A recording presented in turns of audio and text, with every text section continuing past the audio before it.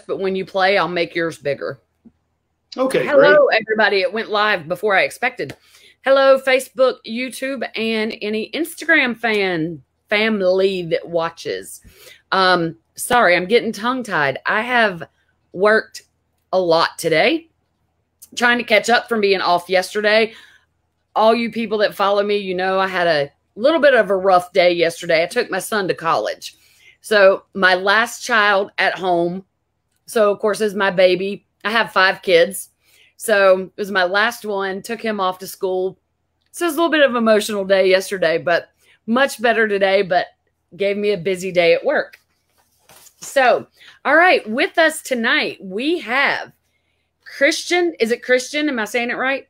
Okay. Yep. Want to make sure. Sorry, I should have asked you before. Kristian Montgomery, and your band is called. I'm blanking. Kill- Winter Yeah, Kill. Win- oh my gosh. I've only seen that 10 times today. Winter Kill Band.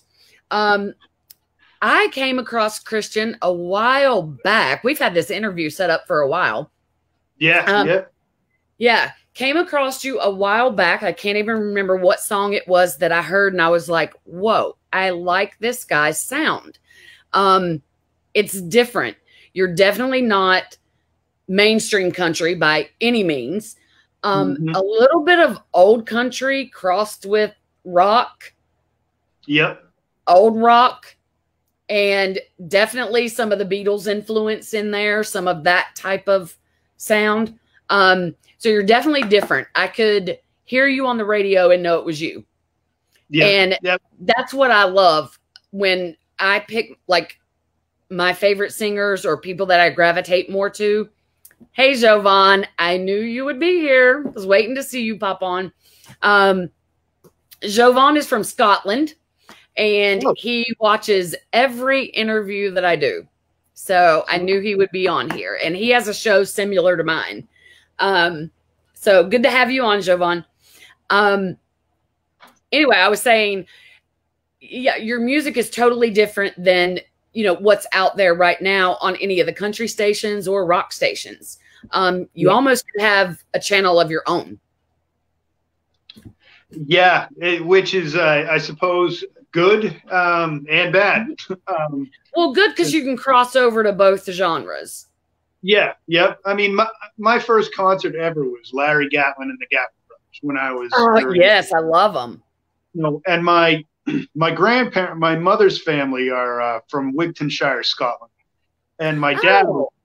my dad is from Copenhagen, Denmark, and um, so I grew up with a huge Celtic influence. Um, so th- you know, uh, it's there's definitely a uh, an influence there. Um, but I, I love old rock and roll. I mean, from the Beatles to Roy Orbison to uh, Chuck Berry. Um, but I, I also love the heavy guitars of Soundgarden and um, Monster Magnet and all these other crazy bands that, uh, I, you know, Queens of the Stone Age. Um, um, those guys are huge influences as well as uh, some of the predecessors of rock and roll. But, um, you know, we, and you like we some of the like 80s classic rock too because one of your songs starts off with um queen Yes, uh, Freddie Mercury is one of my all-time favorite singers. I mean, the way he layered his vocals and yeah. just his, his approach towards songwriting was amazing, and so it was cool. I got to uh,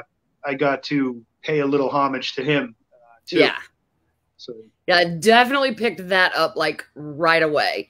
Um because i'm a huge queen fan. I mean i'm a 70s 80s 70s baby 80s teenager. So um that's definitely my era uh so i Mhm. love that um well let's just go ahead and kick it off and let you just play something for us so people will know what i'm talking about with your sound and then we'll talk some more all right, well, this one is a brand new one. Um, I wrote this song um, whilst uh, traveling through Mexico, of all places. But uh, it's a pretty cool little uh, rockabilly tune.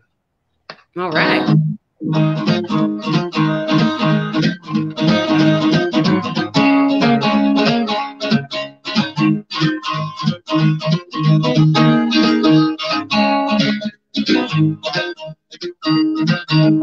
So walking down the road while I wet my left down in Mexico. Well, I found a I can call home. Said I'm senorita sweet. Then I dare knock you off your feet. Before I'm done, you never want to leave. She got fruit so sweet. Think twice before you bite into that piece. Fruit so sweet. Think twice before you bite into that face. Never spent a lonely night. She did things that I can't describe. Well, if I go, I'll die satisfied. She had fruit so sweet. Think twice before you bite into that face.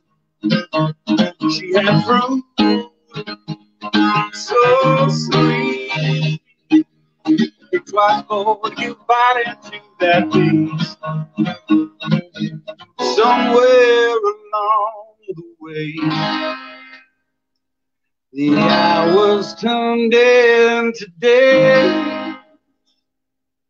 The visions that I have seen in my life. She had fruit so sweet. Think twice you bite into that face. She had fruit so sweet. Think twice before you bite into.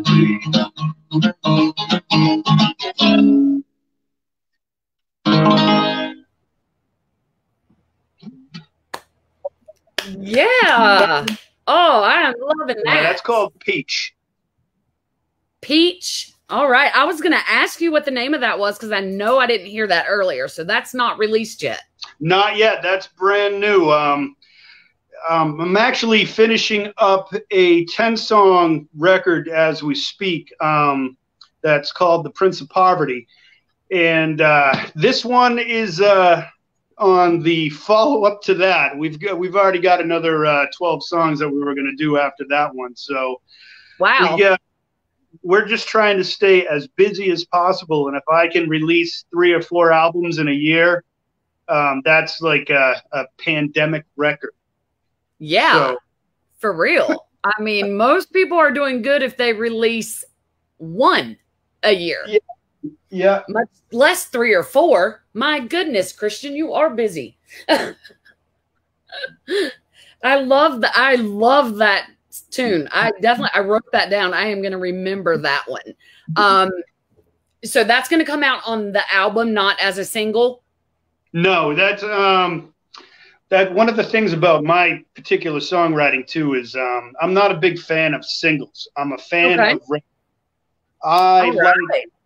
I like um, I like albums. They are descriptive of a period of time in your life, whereas a single is just a fleeting moment. Um, Right. and I mean, there's a time and a place for singles. Don't get me wrong, but um, when you listen to an album and you can hear um, connections between the songs, that's that's one of the biggest turn-ons for me when it comes to music is being able to say, so you went through this, then they wrote about that, and then they moved on to this. Um, that that's where I'm at. I mean, especially with everything I've gone through in my life and places I've traveled, and I mean, you know, a magazine recently said that I made Hemingway look like a Cub Scout. Um, you know, my my records are about a period of time in my life Right. have happened.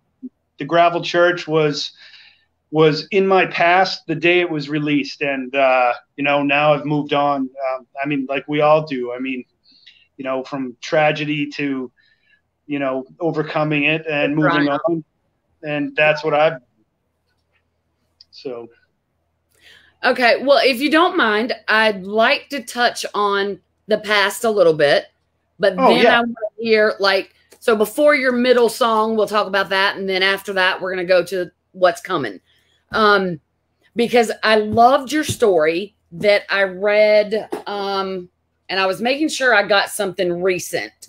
Um, and if there's something more recent, I apologize, but this was in July. Um, the Wicked Local. yeah, that was uh, the newspaper. The Patriot Ledger was the uh, was the pa- paper that published it. Um, the Wicked Locals are like uh, um, you know town tabloids, but uh, Okay. Patriot Ledger, the Patriot Ledger was the initial was you know and Jay Miller from the Patriot Ledger. He um, Right. he was the gentleman who wrote the story. Um, Okay. I was but- inspired when I read your story. Thanks. Um, yeah, really inspired when I read your story and I was reading it and I was like, okay, I'm really intrigued and looking forward to this interview. Um, because of course the title caught my attention. And so Jay did a great job because that's exactly what he's supposed to do to get us to read the article. Um, so the title, of course, is Kristian Montgomery fought the law and his music won.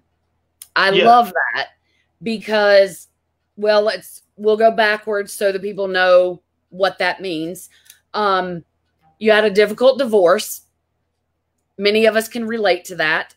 And you had children that you had to pay child support for. Mhm. Again, many can relate to that. And you are a diabetic. Yeah, yeah, I'm a type one diabetic. I, I wear an insulin pump, and uh, um, you know my my biological father made it to 54 before he passed away from complications with diabetes. Um, so time has always been, um, you know, uh, I can relate to, to guys like BB King who you know live with type one diabetes and others, and um, you know we tend to live in on average 15 years less than the average person. So if uh, you know 72 you know we're we're somewhere in the you know um, we're somewhere in the late 50s as far as you know that's concerned but i mean some people make it longer some people shorter Right. um, but yeah i i asked i asked uh, um, you know uh, for a slight modification and uh, um, it was denied and i made i made the mistake of reaching out to a judge and telling him what i thought and they threw me in, you know so, i mean it, it was uh it was healing at this i mean it was an awful experience don't get me wrong and i would uh I, I got to tell you, I mean, I've met so many people there that probably shouldn't have been there. I mean, there was all, you know, people suffering from from addiction. There was people who uh, had been, um, you know, thrown in there for so many different reasons. I, and it seems like we just do that here in the United States now. We just throw people away really quick. Mhm. Um, you know, uh, there isn't a lot of empathy and there's not a lot of love um, regarding our fellow man. So, uh, yeah. but I mean, you know, I I was approached by a twenty something year old uh, drug addict while I was st- while I was in there um, regarding my snoring, and uh, I uh, I had to defend myself, and I did pretty damn well. Did some time in solitary confinement for knocking him out, and uh, and then um, you know, I mean, granted, I was only there for a little less than six months. Um, Right. But it, it was enough. It was enough to show me kind of the underbelly of our country that, and and to see all these forgotten people, and it was just awful. Um, yeah. uh, when I got out, the first thing I did was uh, try to uh, get back uh, to being a dad and set a good example. And so I decided, what better way to do that than to uh, than to write a record and to uh, you know get my story out there so that people could uh, you know people could hear me and and, Yeah. and hope, hopefully hopefully I'll be able to help somebody if they're going through something similar. So. Exactly. Well, you had, you know, we we talk about and we I use that loosely because not me, but people talk about deadbeat dads, you know, dads that don't pay child support and Yeah. uh, I'm familiar with one of those. Um, and he had no reason to be that way other than he chose to be that way. You didn't yeah. choose to be that way.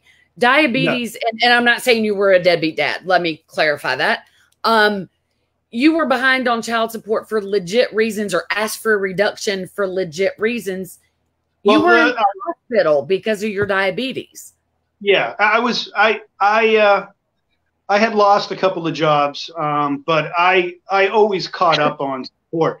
Um, one of one of the things here in Massachusetts, and uh, um, you know, I'm not a big fan of uh, the the government in Kentucky um, as far as uh, uh its leadership. You know, Mr. Mitch McConnell, but um, I am a big fan of something that happened there in Kentucky. They passed a law that in the event of a divorce, mom gets the kids half the time, dad gets the kids the other half of the time.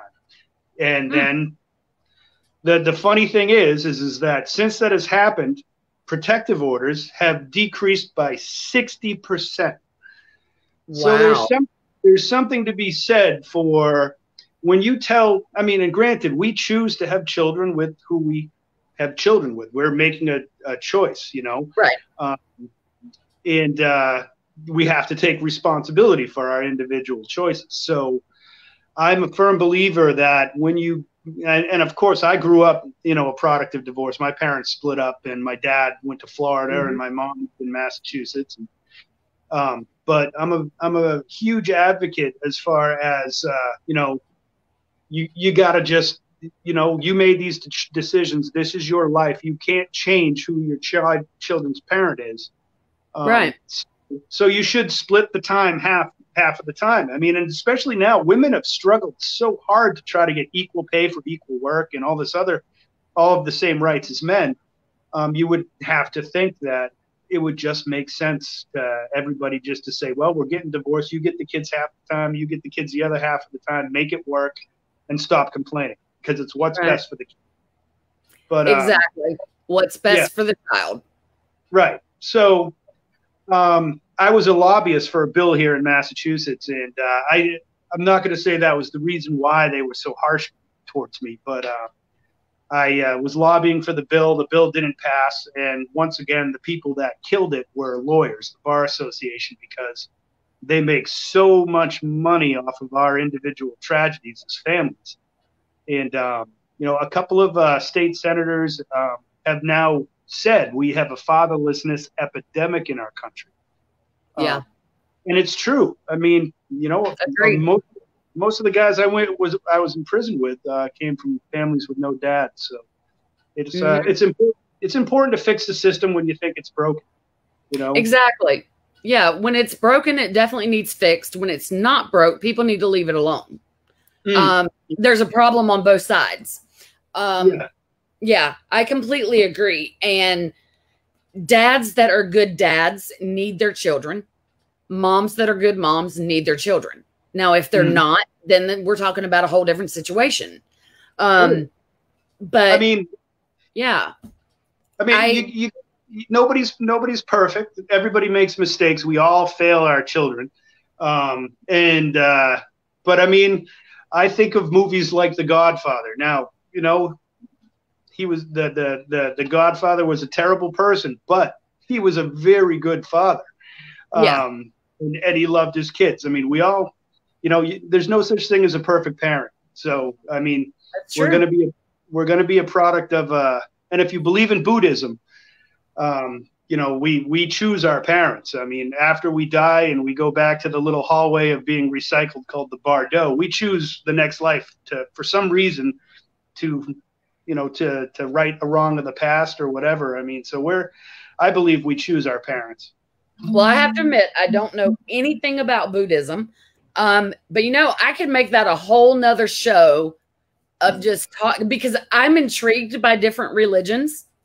Um i could make that a whole nother show talking to people that believe in different religions than i do because i don't have a problem with that. You know some people are just like, oh God, if you're not Christian, no, not listening to you.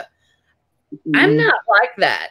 I like hearing other people's religion, other people's beliefs. Um, I'll share with you what I believe, and but I'm not going to say that you're wrong because I don't want you to tell me I'm wrong. Well, I grew up in the church. That's where my music. That's where my music career began. So, right. Uh, I, I, so I, how did I, you get to Buddhism? I, and I know I said I'm not going to talk about politics or religion, but I'm interested now. So, people watching, if you don't like it, sorry. Um, it's my show. Um, how did you go from that to Buddhism? I've just always. I've, I've I've traveled I've traveled the world quite a bit, and uh, you know uh, a little bit different than some uh, some other musicians. I mean, I from from Nicaragua to Norway. I mean, I've I've traveled, and you know, my my older brother's married to a woman from the Philippines. Mhm. Um, you know, we uh, we've we've you know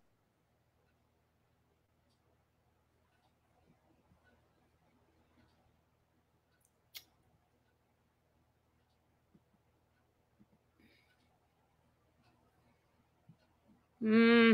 why did we freeze? Come back, Kristian.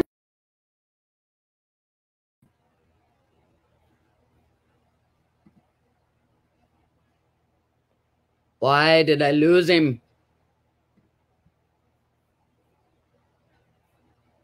Okay, hopefully it comes back.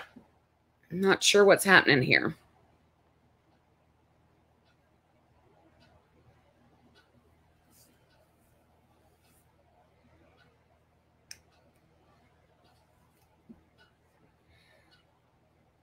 Hmm. Okay, we completely lost him. All right, hopefully he's going to come back in. There he is. I'm back. You're go. back. Okay, good. I didn't know what happened. Uh, but Okay, you were traveling around. Yeah, I was just uh, traveling. I mean, I've always kept an open mind and listened to other people's opinions, and and I've found something beautiful about all of them, uh, all the religions. Uh, I I really got into Buddhism just because, um, it was a religion where that that basic tenet was if you can't do something good, the least you could do is not do anything bad. You know, which reminded me of my grandmother. You know, saying if you don't have anything nice to say, don't say anything at all The golden rule. Yep. and and I just like simple. I mean, I I believe we're just supposed to be good to each other. We're supposed to love each other. Um, I don't Yeah. want my next neighbor to be my competitor. The way it, you know, it seems like that in the states a, a lot of the time, where we we used to be a vill, you know, we used to have villages, and now we have individual homes where, you know, the next door neighbor, you know, we we we look at him like, uh, what's wrong with that guy, and you know, um, yeah. we're we're supposed we're not supposed to be like that. So. Yeah. um, and especially right now with this pandemic and the way that the the world is, especially the United States, is you know, just be nice. Why I Mhm. don't It might be the last thing you do. You don't. You don't know it. We don't know anymore. I mean, we could get sick tomorrow. So exactly. I mean, and it's not that hard to be kind. You know, it, Yeah. it takes so much less energy to be nice than it does to be ugly to somebody. You know, I, yeah. I I don't have, a, I have a very good friend, Jeff Neely, who's in a band called the Slow Grass Rollers, and they're um, they remind me a little bit of the Grateful Dead, but they have a song called "Be So Good to Everyone You Love," and it is one of the most uplifting and joyous songs you'll hear. Um, and it's how we all should we we should really listen to them. I'm writing that down because I'm gonna look it up. slow grass rollers yeah they get they've uh they've been in the studio around the same time i have and uh um and i borrow their session drummer all the time so uh we've gotten to be good buds All right, I'm gonna have to look that up. I was thinking when you said the name of the band, I thought uh, this is gonna be a bluegrass band. yeah they're very very bluegrass i mean they got Oh, they a little are. of- Oh, okay. they're a little a little you know kind of like a grateful deady bluegrass um a lot of mandolin a lot of washboard a lot of old style i mean they even use that you know that uh, mouth harp and all sorts of crazy stuff um they're just super talented guys who are just I'll have to. Yeah, I'll look those them up for sure. All right. Well, I want to get to the next part of your story because this is the. Well, let me go back just a minute. Um, I would when I was reading this. Now, most of this last album that you put out, you wrote mm-hmm. while you were in prison. Yeah. Excuse me. Yeah. Sorry. So was it just most of it, or like you wrote the whole album while you were in oh, there? Just no, uh, most of it. I mean, when I got okay. out, I wrote stuff. I mean, I wrote a life like this um, after a, a night. Uh, actually, uh, for our Scottish viewer, um, my family splurged. Um, you know, we we have a very modest family. Uh, you know, we're we're just on that middle class cusp, I think. Um, and uh, we don't have a lot of extra, but we have everything we need.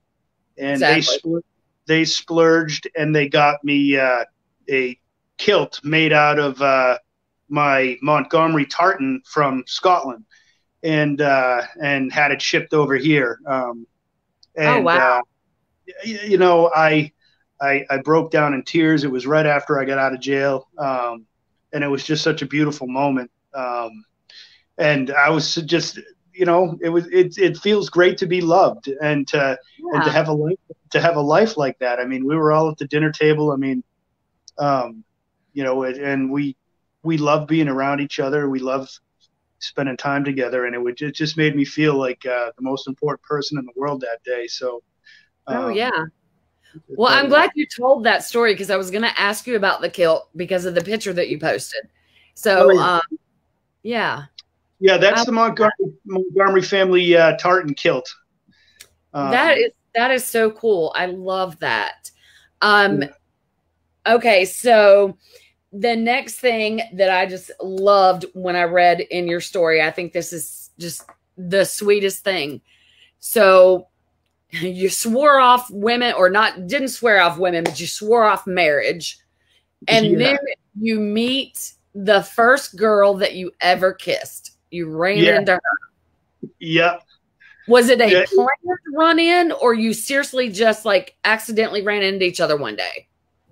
Um, yeah, we we kind of we you know before I had gotten divorced and uh, she she had gotten divorced was going through a really bad divorce too. Um, we had kind of looked at each other on Facebook, and I sent her a message, you know, a couple of years prior to getting together saying, Hey, uh, do you remember that time I kissed you behind the library? And, uh, and, and she didn't, you know, she, she didn't reply to me.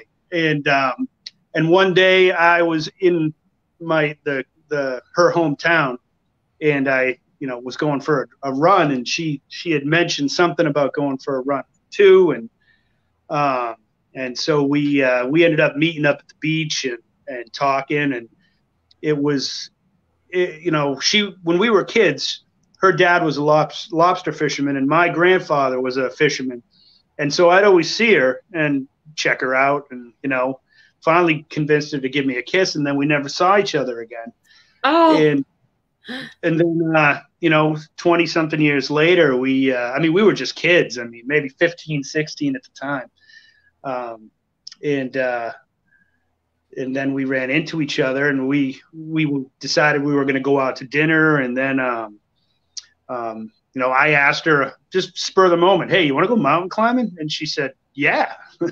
And uh, you know we ended up climbing uh, mount washington in new hampshire together and then uh, um, uh, we just enjoy a lot of the same things. We you know we we fish um, she goes hunting with me. She uh, she, I mean, we have a lot in common. Um, and uh, you know, we we thought we'd never get married again, and then six months later, I I just was sitting in her grandmother's driveway with her after visiting her grandma, and I said, "You want to marry me?" And she's just like, "Yeah." And so, I "Want to go buy a ring?" And she was like, "Yep." I said, "Okay, let's do it." Yeah, of course.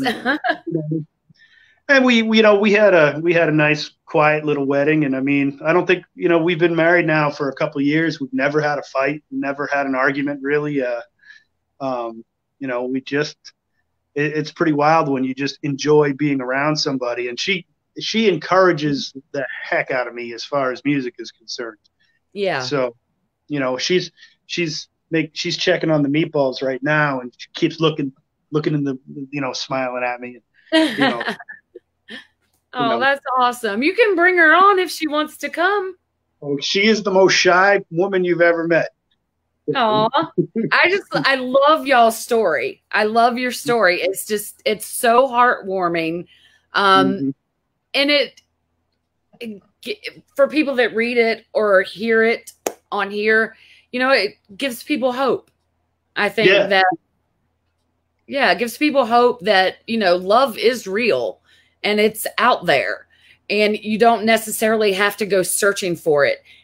I feel like your truest love is going to find you. It's just Yeah. going to happen. You don't have to go searching for it. Yeah. Uh, that's what I think about it. But And- anyway, um, I found that no no matter what happens, you can always start over. There's nothing stopping Yeah. anybody from starting. over. It's up to Yeah. you and what you decide to do. Choices, life choices are yours, and you know whether you make good choices or bad choices. Yeah, Mhm. it, it's totally up to you and what you decide to do. Yeah. Well, I think it's time for another song. Okay. Well, on a on a much uh, a much um, different pace as far as love stories is concerned. This is a song that's on the next record. Um, it's called "Don't Call Me Baby." It was a Las Vegas song. Um, uh, it was about a nightmare where uh, I was with a woman who took me out to the desert. She made me dig my own grave, and it was the weirdest weirdest dream. But I remembered it so vividly. Every time she shot me, she said, "Don't worry, baby. It's okay, baby." And I just so I wrote this song. Oh, that's pretty. All right. You got me interested now.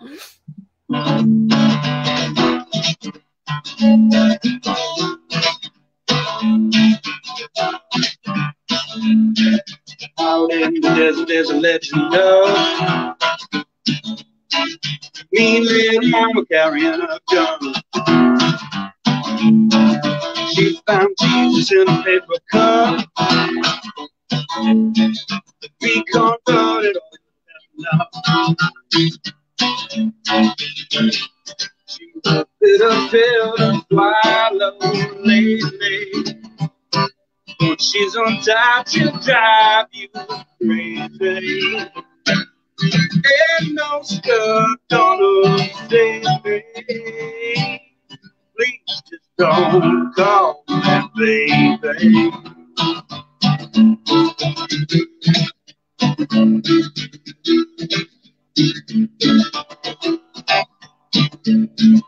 Bebop blue is what you say. She gonna love till the end of the day. She gonna be your favorite high. Feel like you live long after you die. She's a bitter pill to swallow lately. When she's on top, she'll drive you crazy. Have no skirt gonna save me. Please just don't call me baby.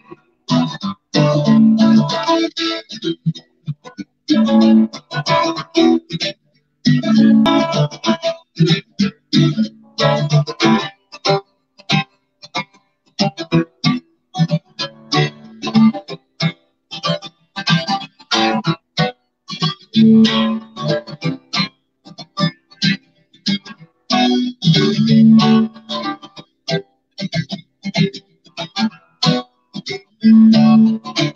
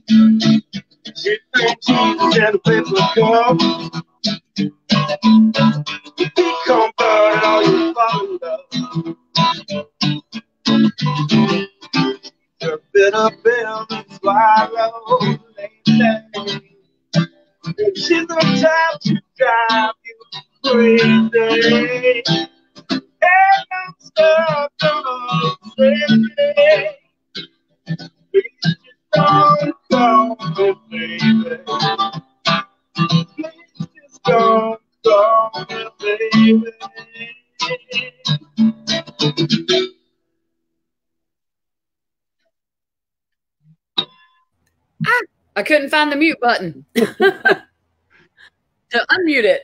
Oh, okay. That was a crazy song. I can imagine how you felt dreaming that. It was uh it was pretty funny, you know. I woke up and I was telling my wife about the dream. She's like, "Was it me?" And I'm like, "I don't know. It could have been you." And she, but uh, I mean, it was it's kind of one of those like uh, um, 1950s style song. Uh, you know, when we recorded it, it turned it's it's turned into a real big band feel.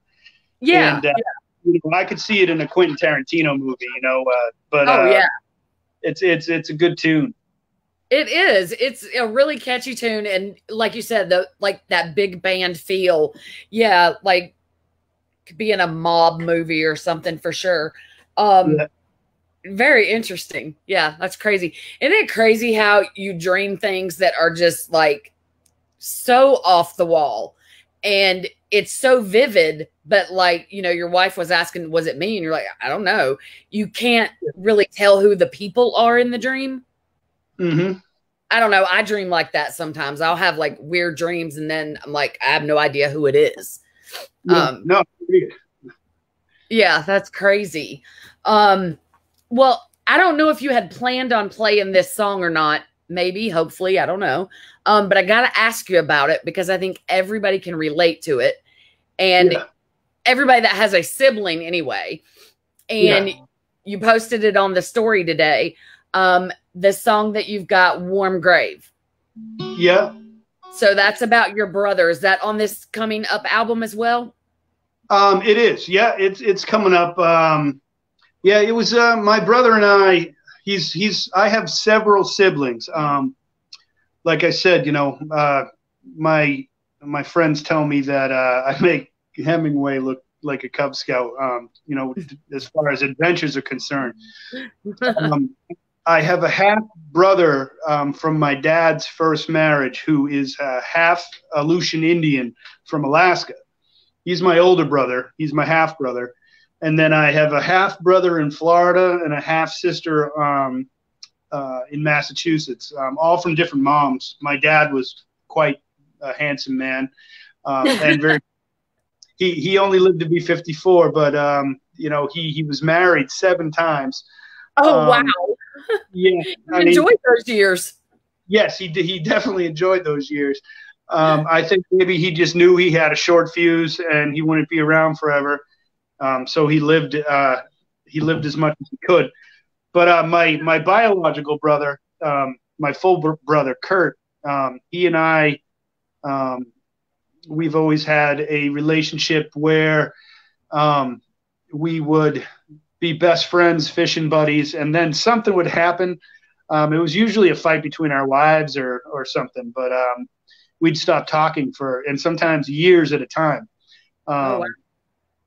And uh, this this song was just kind of uh, my so- solidifying our friendship. Um, you know, uh, letting him know that uh, um, no matter what, you know, we're we're always you know we're always going to be best friends. Um, you know, he's down in Florida, he lives in Spring Hill, and I'm up here in Massachusetts, and um, so you know, it's funny. I was born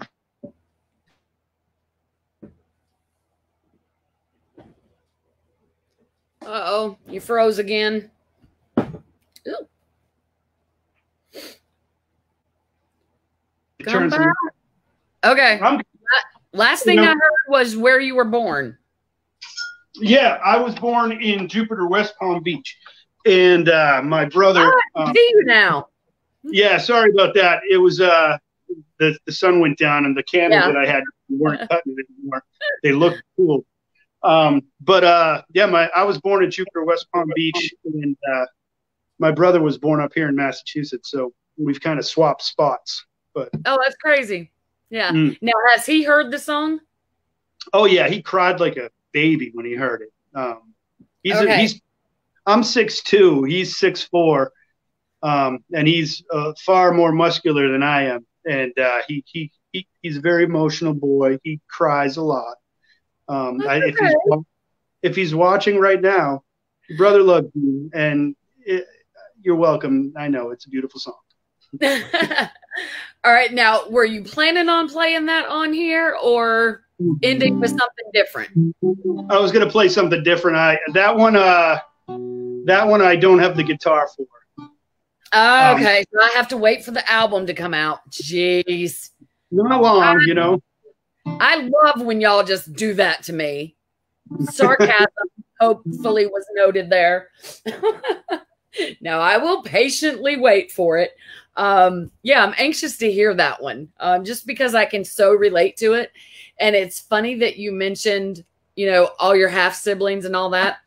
I totally can relate because I have in total, there is set, I have six other siblings, three sisters, three brothers. Yep. So I have a half brother that lives in Florida, a half sister. I'm not sure where she's at because she won't talk to any of us. Um, that and so those are from the same dad. Then with the same dad but a different mom is my full sister. And then I have two stepbrothers and a stepsister. But my two stepbrothers and stepsister, they're like full siblings. They've been around since I was five years old and we were all raised together. So, yeah, I can relate to that, all those different places that they come from. Um, hmm. but me and my full sister um, have a relationship like you were talking about with your brother but we've never went years. The we've went a couple months, and that might be the longest. But I mean, we will love each other like best friends, and she is my best friend. I love my yep. sister to death. I would do anything for her. Um, but then sometimes we can get in some knockdown dragouts. I yep. mean, it, you know, it, I think that's just a sibling thing. It just happens. I think everybody can, you know, relate to that. Um, but now, do any of your other siblings, or did you come from a musical family? Um, yeah, I come from a very musical family. Um, my my uh, my uncle was a pretty good banjo player, and my grandfather had a wonderful voice um, on my mom's side. Um, and uh, my you know my mom had a really good voice, and then on my on my dad's side, I mean, uh, my my cousin Sarah, in, who lives in Denmark, um, she is uh, she was managing one of the biggest record stores in town. Very musical person, and uh, my cousin Morgan um, and Bianca are both uh, very you know avid music fans too um, over there. Um, my cousin Jessie and her husband Henrik, um, you know, uh, huge uh, Jimi Hendrix fan, 70s, you know, music. Uh, um, you know, my, my cousin Jessie just turned 70, so happy birthday if she's in Denmark. Oh, wow. Um, yeah, happy birthday. She, uh, she, she's a wonderful person, um, yeah, an angel. And, uh, yeah, we have a, a very, very, very much uh, just immersed family when it comes to music. Um, uh, yeah. Every, and and everybody's kind of followed my career to see what happens. Um, of you know. course, yeah, I would hope so. Now, are you the only one that's pursuing music? Is there anyone else in your family that's pursuing, you know, playing music as a as a career? Yeah, just me. I'm the only one, the last oh. one standing. Yeah. Well, not too many to keep up with in the family. Then it'd be easy if it's just you. Um, yeah. All right, now in a couple of your songs, um, and we talked about this a little bit before we went live, um, but I want to get into a little bit more detail. In a couple of your songs, I very easily detected um, some Native American. Yeah. Um, and so you do have some Native American in you, you said. Yeah, on my mom's side, we have uh, we go back to the Wampanoag Indians, uh, who were the, the Indians who met the Pilgrims. Um, my my genealogy is it's pretty crazy. Um, here, uh, my mother's parents um, in Massachusetts, uh, we mm-hmm. always speak we speak about North Shore and South Shore. Um, my grandfather, my mother's father, um, his family, um, half is from Wigtownshire, Scotland. The other half are very blue blooded Americans um, that go all the way back to the Mayflower. I'm think uh, like two thirds of the Mayflower are my distant grandparents. Oh wow! And uh, you know, with Halloween coming too, uh, two of the women who were hanged for witchcraft in Salem, as uh, everybody knows, uh, two of them, uh, Rebecca Nurse and Susanna Martin, were my ninth great grandmothers. oh wow! Yeah. That is so cool that's on my grandmother's side. But uh, on my granddad's side, we have uh, we go back to the Pilgrims and the Native Americans that met them. So, uh, um, you know, there's a it, it's a pretty cool history. And then on my yeah. on my father's my father's side in Denmark, um, we uh, you know having more of that Viking heritage, we we're pretty much immersed in the that area of Northern Europe. I mean, my my 25th or 6th great grandfather was Harald the Bluetooth, the first king of Denmark, the first Christian king. Uh, his symbol is the Bluetooth symbol on your phone. Oh so, wow! Yeah, I didn't his, know his, that. Yeah, his rune is what his, his name. Every time you log into something with Bluetooth or play music on from your phone to your car, that's uh, that symbol is my whatever 25th or whatever great grandfather. Um, Oh wow, that yeah. is interesting. And I thought I had an interesting family history. That's nothing compared to yours. oh gosh. Yeah, my well, I mean, you you got to take the good with the bad. I mean, um, my ninth great uncle was the first teenager hanged in Plymouth, Massachusetts. Um, he got a little too friendly with a cow, and um, he was hanged um, for that. So, oh my god! it's a if if you his last name his last name is Granger, and if you if you Google that if you Google the first teenager hung in in um, Plymouth, Massachusetts in the 1600s, that's him. He's my oh, he's a great, a great great great great uncle, not grandfather. So I escaped um, anything being passed down to me. yeah, that's crazy. Oh my gosh. That's crazy. Yeah.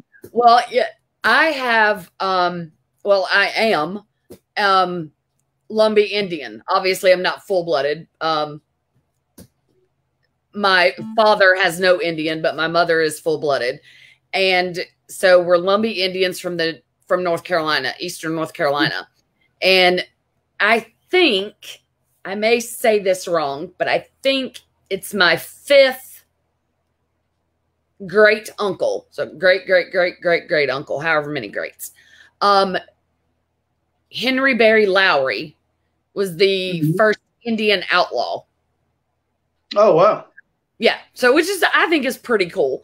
And one of the my cousins um, was a fabulous artist, fabulous artist, and he did multiple paintings of Henry Berry Lowry, and um, it's just it's it's just really cool heritage if you dig into the Indian Native American history there.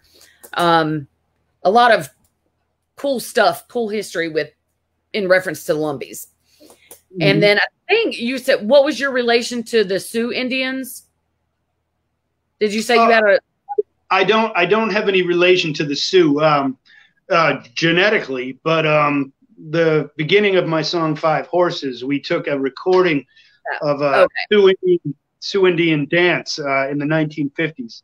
Um, and uh, I mean, I I I use a lot of um, Native American visuals in my songs. Um, yeah, video. You know? Um, my new song "American Fire," which is kind of taken off. Um, you know, we uh, we have the Indian chief on his horse looking at the fire, um, you know, blazing. Um, it's yeah. uh, it's it's kind of a nice uh, you know i tell people all the time that uh, we've had 400 years of english rule in the united states and we have the 400th anniversary of plymouth is coming up and that um, uh, we uh, we should be asking the natives to uh, release the curse um, that 2020 has plagued us with um, because of uh, I mean, you know, it it, it seems almost uh, coincidental that the 400th anniversary of the beginning of the country, uh, you know, was plagued by a pandemic. You know, so yeah, I didn't think about that. Mm. Yep. So you know, mm-hmm. now, yeah, That's interesting. I didn't think about that. Hmm. Yeah, I like excuse me. Um I like the song. Um and I definitely get the message. Yeah. Um but yeah, um sadly I had to ask you to refrain from that one. Um just in case there's any children watching. Um or make it PG. Um yeah. Yeah, because when I the first time I heard it, I was like, "Whoa!" you know, like caught my attention, and I was like, "Eh, all right, I can go with this." Um, but another one of your songs that I really liked and can relate to is "Look at My Child." Yep. I really like that. What was your inspiration for? I mean, besides the obvious, did you have any other inspiration for writing that song? Well, I the other than the fact that I've grown up in a society that's been at war um, since as long as I can remember, um, Yeah. and uh, I have a very close cousin. I mean, sometimes we even call each other brother and sister. Um, and she has two sons who, you know, they all of my nieces and nephews call me Uncle Cuckoo, and um, so it's yeah, it's something she started. She's kind of a pain in the ass, but um, she her son her sons um, and I are very close. I mean, I I think the world of both of them, um, almost to the point where where I think they can do no wrong, which is uh, gets me in trouble all the time. But um, know, my my nephew Christopher is going to play baseball for Salve Regina College in Newport, Rhode Island, and um, he's just a phenomenal student, phenomenal ball player. Um, but his father went to Afghanistan, and uh, he came back a completely broken person. Um, Yeah. You know, I mean, we heard stories about him cleaning cleaning uh, um, the pieces of his friends out of some of the vehicles that had gotten hit, and uh, um, and it, it forever, definitely forever changed. I mean, I mean, granted, he married my cousin, so he was broken before he went, but you know, he uh, he he came back he came back worse. Um, Yeah. and uh, but but it's uh it's just I'm I'm I'm at that point now where you know I would never not support somebody who joined the military on my behalf.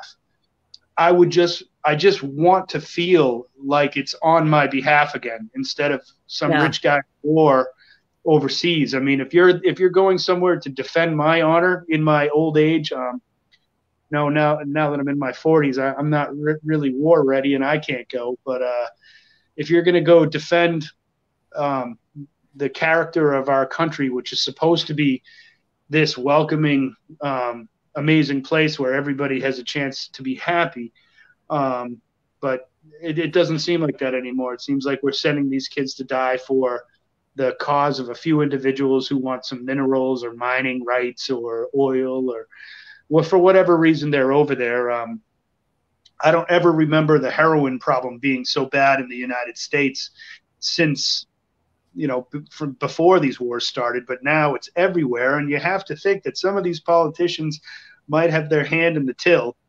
And Yeah. uh, I mean, I don't think we have senators or House of Representatives anymore who aren't millionaires. So uh, it's pretty Yeah. scary. Yeah, it absolutely is. And I think, you know, even if people don't have, you know, a son or daughter themselves or brother or sister, you know, somebody directly close to them that is serving, surely they know somebody. Hmm. And if you've ever seen someone come back from that situation, they're not the same. They're affected in some way or another. And I mean, I have a son in law that's ex army that deals with that on a daily basis. I, Yep. my other son in law is a current um, career Air Force pilot. So I have very close ties to the military. And so, yeah, Well, I, I related to that song so much. we we see how it we see how it also rolls into the way our country polices itself too. Um, you know, veterans get special, you know, treatment when it comes to joining the police force. And these are gentlemen who have been trained to kill in defense of themselves, um, who are now trained to kill their own citizens. And it's, uh, um, you know, it's a situation where, I mean, other countries, I mean, you know, my, in order to become a police officer in Denmark, you have to go to school for four years. You have to get a degree. Um, and a lot of it's based on psychology. And I mean, yeah, we kill, you know, so many criminals are killed uh, in the United States every year.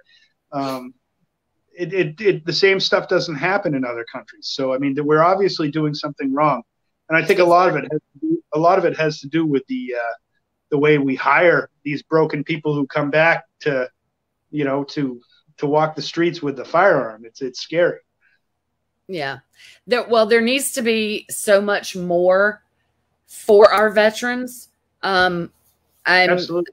such an advocate for veterans and what they deserve when they get, you know, while they're yep. serving, currently serving and after.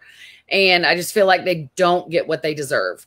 Um, but as far as the police, yeah, there needs to be so much more training, I feel like. Um, mm-hmm. I like the four year thing. I like that. I mean, you know, by profession, even though I'm not currently working as, I am a registered nurse. I had to go two years for that degree. Mm-hmm. And then you think you can go to school and be a police officer in six months? Yeah, no, it's actually 12 weeks or 21 weeks, I think. Or, yeah. Um, but it, strikingly odd. Um, yeah. But I mean, and, I am all for our police officers. Um, I support them um, as long as they're doing what they should do. I mean, you've got yeah. good and bad in anything. You have good and bad in anything. Um, the bad ones I don't support by no means. Um, the good ones I do. But I think mm-hmm. all across the board, yeah, something different needs to be done when, when I when I was a boy, I got in trouble, and I remember the, the gentleman's name was Officer Haywood, and my grandfather came to pick me up at the station, and he said, he said, Mr. Montgomery, your grandson will never do what you, they said he did, and I, you know, kind of nodded my head like in agreement with him, and he goes, and if he did, I'm sure you'd want to take care of it at home, and. I can tell you that by the time my granddad was done with me, I was begging to be just throw me in jail, just arrest me, please. Oh uh, yeah. I never, I never got in trouble again, and you know, years later, I became very friendly with uh, that police officer, and uh, and he said, you know, our job was to protect you kids through that period of time in your life where you thought you were invincible and you were completely full of crap.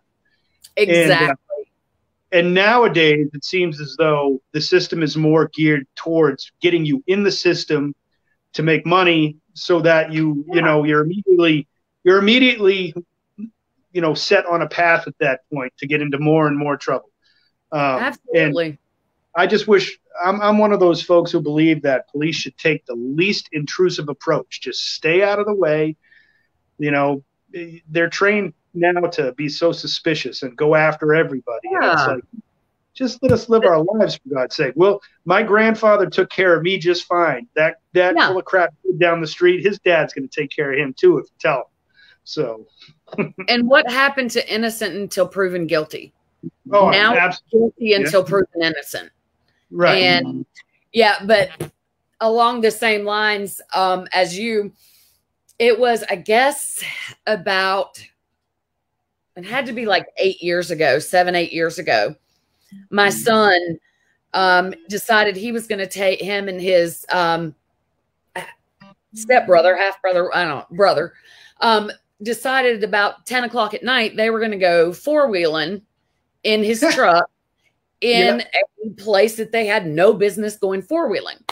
Well, then, and it wasn't even my son driving, he let his brother drive. Well, he got it, his truck, and that was the first thing because he knew he was not supposed to let anyone else drive his truck mm-hmm. except his dad eh, or me. And so that was his first mistake was letting his brother drive. Second mistake was going to this location four wheeling at 10 o'clock at night because he didn't even have his after nines. so And that's why he let his brother drive. So he was halfway thinking, you know, because he knew he didn't have his after nines. So he's going to mm-hmm. let his brother drive since it was 10 o'clock. But they go to this place four wheeling. His brother gets the truck stuck. And lo and behold, here comes the police. And my son was begging this cop, please just take me to jail. Don't call my dad. Don't call my dad. Just take me to jail. Arrest me. I don't care. And the police yeah. officer's like, no, I think I'll let your dad come and handle it. So it was the same situation. So, I mean. I was really glad that it was a police officer like that. You know, now, today, they would have just hauled his butt off to jail and then called us. But um, yeah, my son was sweating bullets until his dad got got, got there, and yeah, he never mm-hmm. did that. So I, I love I love those natural consequences. Oh yeah, yeah, for sure. I mean, I remember I was more scared of my parents than anything. If I, and not because I had bad parents, my parents were great, but if I did wrong, I had to face the consequences, mm-hmm. and they mm-hmm. weren't good. But you know, anymore, I think maybe partially that's why cops are the way they are now is because parents don't parent like they used to. Yep. I hear you. Sadly. Sadly, mm-hmm. sadly. But um wow, I cannot believe an hour has gone by already. Yeah. Wow. Talk. All right. Yeah, I know. That's why I love this. I get to talking with whoever's on, and the time just like flies by. Um, so, what else do you want us to know about this upcoming album? What are we looking for? What can well, we expect? If anybody, if uh, you know, the the next record's called Prince of Poverty. It's uh, it'll be out before the end of the year. Um, and uh, you know, my website is uh, www.kmwkb.com. You know, uh, my name is spelled with a K, not a C, so it's Kristian Montgomery and the Winterkill Band. Um, you know, you can find us on Facebook. Um, you know, we're we're starting to get some recognition, and uh, I mean, uh, we're almost up to 800 fans on Facebook, and we're we're doing pretty good on the Instagram, and um, you know, we're we're starting to uh, to get a lot of press. People are very interested in our style of country music. Um, yeah. Uh, you know, uh, we're we're different. Um, no, I I, uh, I have nothing against the current um, style of country music that's really popular right now. Um, you know, like, it seems like Kenny Chesney's becoming the uh, the new um, what's his Margaritaville guy. Um, you know, uh, I can't even remember his name now. Luke um, Bryan not Luke Bryan. No, no. Who sang uh, "Wasted Away" again? Oh, oh, oh, Jimmy Buffett. Jimmy Buffett.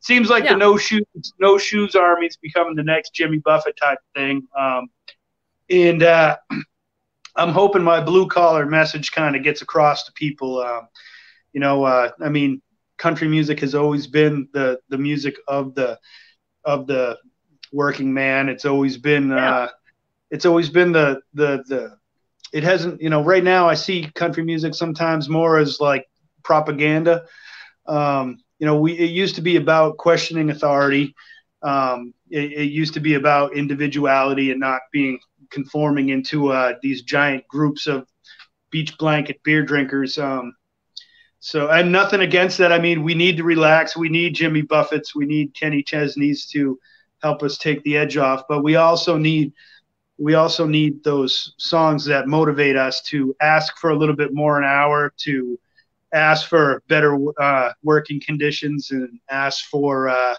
more respect for our labor too. So. Um, absolutely, absolutely, and that's oh, I mean, one thing for sure about your music and what I love. Um, your songs are and that's why I love country music so much. The the majority of country music is storytelling, telling a story from something that you or someone you know has experienced Mhm. and you're you're telling something real and relatable um and that's what i love about your music because it's definitely that um every song that i listened to from you sounded like i mean and correct me if i'm wrong but sounded like something that you experienced Oh yeah, yeah. I I'm not I'm not one to uh, I'm not one to uh, to write just to write. Um, you know, if, Yeah. if it didn't if it didn't happen, I'm, I'm you know that's how songwriting happens with me. It's either a phrase or a feeling that uh, of something that was going on or happening, or a way to describe something that happened to me, and and then I just kind of put the music and the words around it. Um, so Yeah. yeah, life is life pretty inspiring. Yeah, absolutely. And that, I mean, that was something I definitely wanted to ask you is like where your inspirations come from for your writing. I mean, obviously it's all like real life stuff, but uh, do you wake up in the middle of the night sometime and something is just like popped in your head and you have to jot it down? Um, yeah, that that happened. My wife will tell you that happens a lot. Um, she'll give me that look and go, "I should go read my book," and I'd be like, "Yeah, yeah, I'm gonna." I, you know, as soon as she sees me pull out the guitar, she's like, you're gonna be a while?" I'm like, "I might."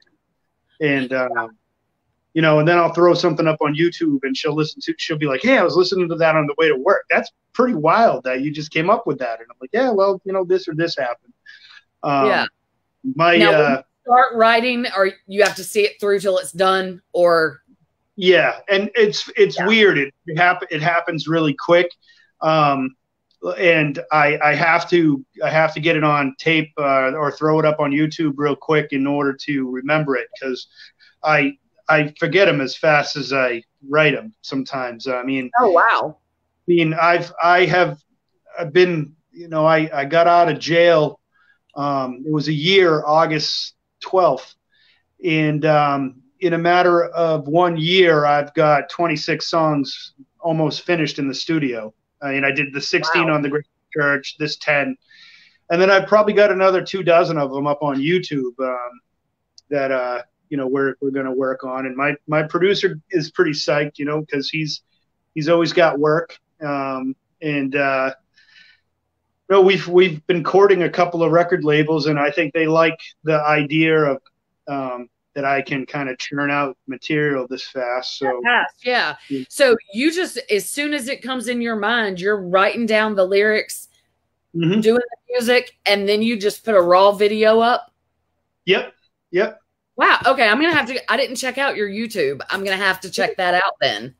Yeah, um, like the the other night, uh, um, we, uh, my wife and I were sitting at, on the couch, and I kind of, I looked at her, and you know, she said she had to dye her roots, you know, and uh, um, She's gonna kill you for saying that on here.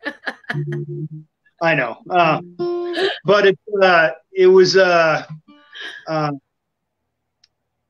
um, I wrote this song called "We Made This House Our Home." It's on my YouTube channel, and my a lot of my friends have called me and said, "Man, that's absolutely a beautiful song," and uh, you know the, the uh, um, the, the lyrics to it came so quickly as I was, you know, talking to my wife. Um, you know, the, the, the first verse is, um, is uh, it's uncomfortable to think about. Yesterday your hair was brown, but now it's white as snow. Um, and um, you know the the the the second verse is um, she jokes about fooling around. She wouldn't chance it anyhow. But what a way to go! Um, you know the whole the whole the whole song was just about growing old together, and you know, like my- I mean, you know, my my my wife and I kind of we have this thing. You know, we look at each other and we just say forever. You know, Yeah. we know. You know, we know. We know that this was oh, meant I love that. you know so uh you know it's uh no matter what forever you know we're gonna just keep plugging away and try to and just try to have the best life we possibly can Yeah, I Yeah. love that. That's awesome. I love that. All right. Well, I am going to have to go to your YouTube then and check that out and all your other stuff that you've got thrown up there now that I know how you do things. and that's quite impressive. That's that is a cool way to do it. Um, mm. yeah. So, and I'm anxiously awaiting the release of this next album. That's going to be fun. So, what do you want to take us out with? Um, well, I'll I'll leave you with this song. It's called "That Bird Won't Fly," um, and I wrote this. This is about my wife. It was my love song to my wife. Um, it was, uh, you know, she she just had so many reasons. I mean, me going to jail and all the baggage that comes with having a divorce and kids, and and uh, she had every reason to fly, but she didn't. So uh, I wrote uh, "That Bird Won't Fly." You know, awesome. It goes like this.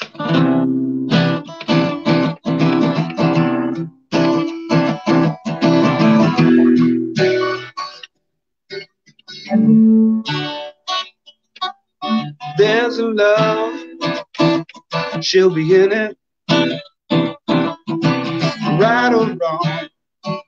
She's got me singing this song, baby, you take a minute before you decide if she's staying night. Cause that bird won't fly. That bird won't fly. Yeah, that bird won't fly. That won't.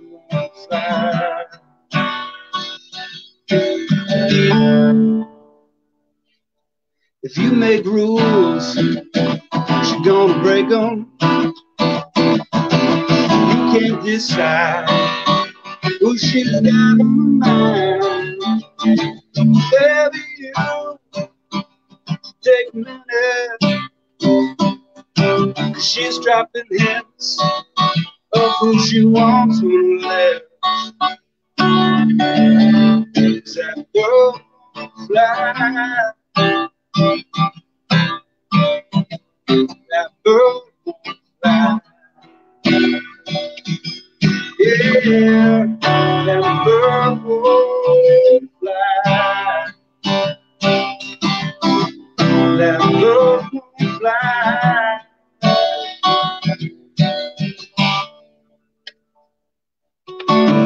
Something about the way she moves when you walk in the room. Something about the way she turns your head. Sometimes I think it's make believe the way she brings me to my knees like magic. And I have never felt. There's a place that I go and I'm falling into dream. There is still you and me and the memories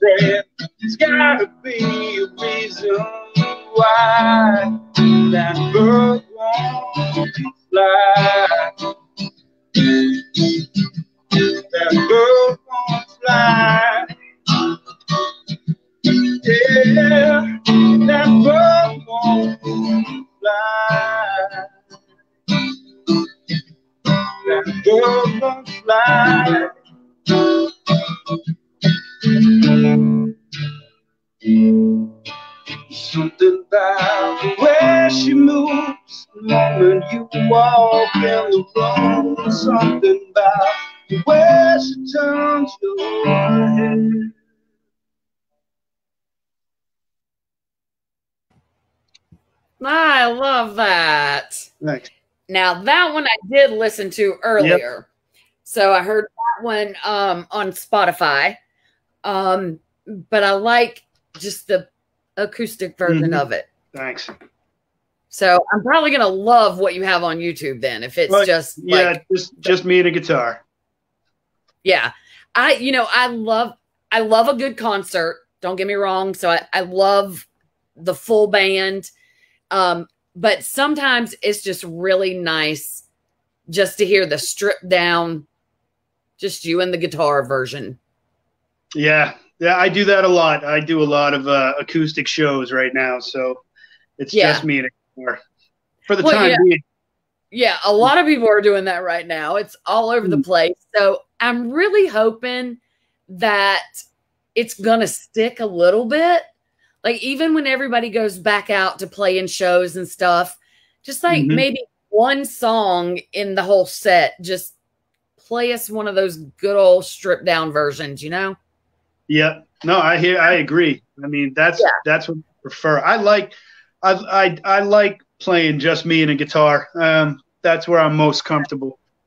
You know? Yeah.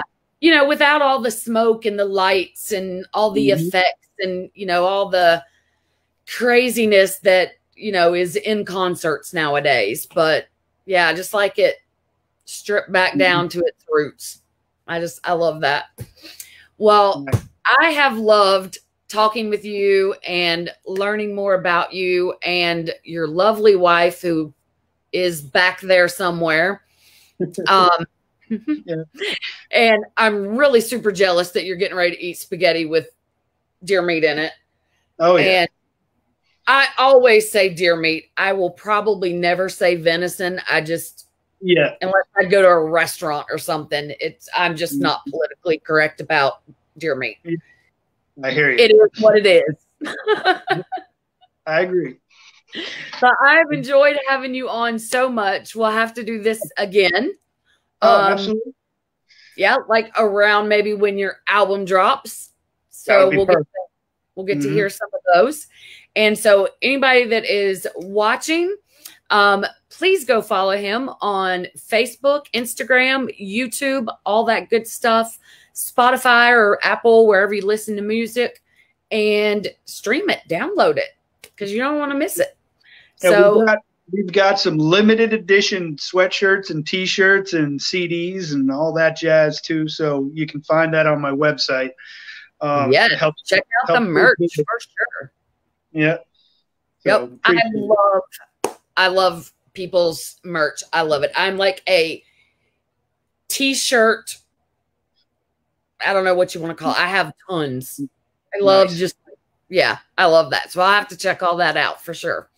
All right. Y'all heard it. Go check everything out on his website, Facebook, IG, all that good stuff. Y'all know all the socials and how it works. So go to it. And thank you very much for being on. And we'll do this again. You're welcome. I appreciate it. All right. Everybody have a good night. Until then, y'all stay safe. Bye. All right.